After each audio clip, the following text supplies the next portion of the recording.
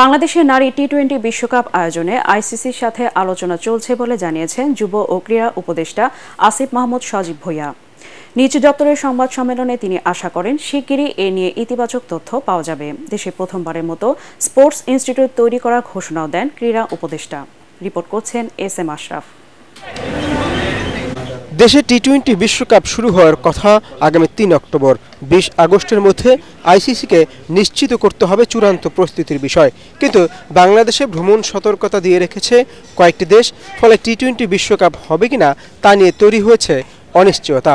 যুব ও ক্রীড়া উপদেষ্টা বলেন, এটা দেশের সম্মানের বিষয়।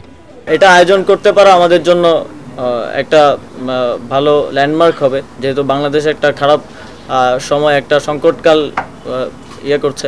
আবার একই সাথে যারা আমাদের মেহমান হয়ে আসবেন তাদের নিরাপত্তা নিশ্চিত করাটাও আমাদের দায়িত্ব।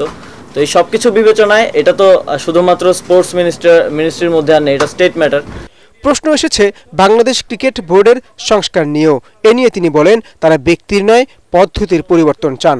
বোর্ডের পরিবর্তনের বিষয়ে বোর্ডের আমরা তো প্রথম থেকে বলে আসছি যে আমরা রিফরমেশন করব সিস্টেমে ব্যক্তির না।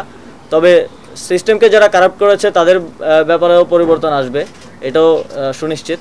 তবে আমরা বোর্ডের পরিবর্তনের ক্ষেত্রে মনোযোগ দিচ্ছি মোর বোর্ডের যেই কনস্টিটিউশন আছে, যারা নতুন দায়িত্বে আসবে কিংবা পাবে, তারা সেই তাদেরকে সেই কনস্টিটিউশনে সেটাকে আরও ডেমোক্রেটিক করে গড়ে তুলতে হবে। সংবাদ সম্মেলনে ক্রীড়া উপদেষ্টা নতুন এক ঘোষণা দিয়ে বলেন সেন্টার অফ এক্সিলেন্স স্লোগানে বাংলাদেশে প্রথমবারের মতো স্পোর্টস ইনস্টিটিউট করা হবে যার উদ্দেশ্য দক্ষ ক্রীড়াবিদ তৈরি করে খেলাধুলায় ভালো ফল পাওয়া। ধন্যবাদ S M Ashraf ATN Bangla.